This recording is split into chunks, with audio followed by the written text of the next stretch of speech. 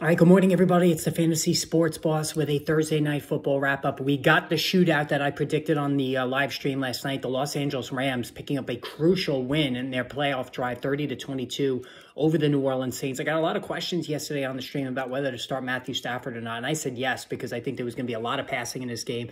And uh, sure enough, Stafford 24 of 34 for 328 yards and two touchdowns, no interceptions as well. Um, turnover free game, really good game for Stafford.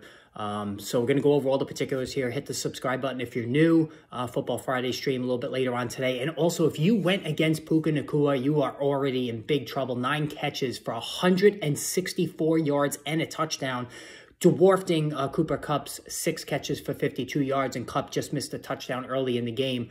Um, and it just goes to show you like the the luck involved on matchups in fantasy football. So uh, I told you guys in my friends and family league, um, my father, who's in the league, had a miracle miracle comeback uh, on the heels of uh, Brock Purdy and Christian McCaffrey late uh, last week when he had an 18% chance to win going into the four o'clock games and then wound up pulling it off by uh, three points. Um, the person he beat I was going to play this week, and he had Puka Nacua. So I just narrowly avoided uh, potential disaster on the first game of the week. And that's so disheartening when you play somebody whose Thursday player goes off like this nine catches for 164 yards. So, me avoiding that matchup, um, you know, that just, I probably could have already been, you know, on the losing end by far um, with just one game, you know, down. So, Puka Nacua was just amazing in this one. And, uh, you know, I know him and Cooper Kupp are flip flopping a little bit with their production. Um, but obviously, both guys have wide receiver one profiles. Now, Kyren Williams, another 22 carries for 104 yards and a touchdown. So he's scoring pretty much every week. Um, they're comfortable uh, giving him the ball in the red zone.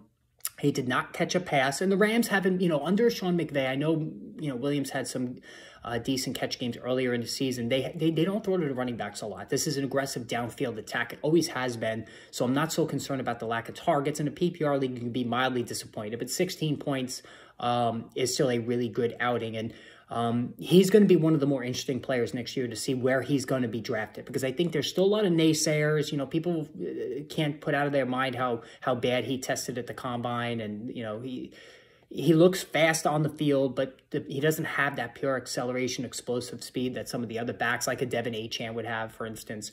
Um, but the numbers don't lie here. I mean, they, he's just been really good. On the Saints side, Derek Carr threw another uh, good game here. Back to back gems, 27 to 43 touchdowns. He did throw a pick.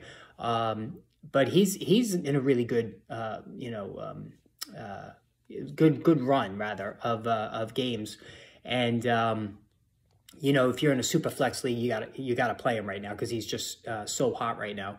Um, Chris Olave made his return, nine catches for 123 yards. Uh, he didn't score. You know, he the touch the touchdowns are just not there for Chris Olave, which is frustrating. He's got he's you know has that Julio Jones look to him a little bit. Lots of catches, lots of yards. Even Justin Jefferson can qualify here as well, uh, but doesn't score a lot of touchdowns. But he was huge in this one. Rashid Shaheed five for 70 in a score. Juwan Johnson four for 48 in a score.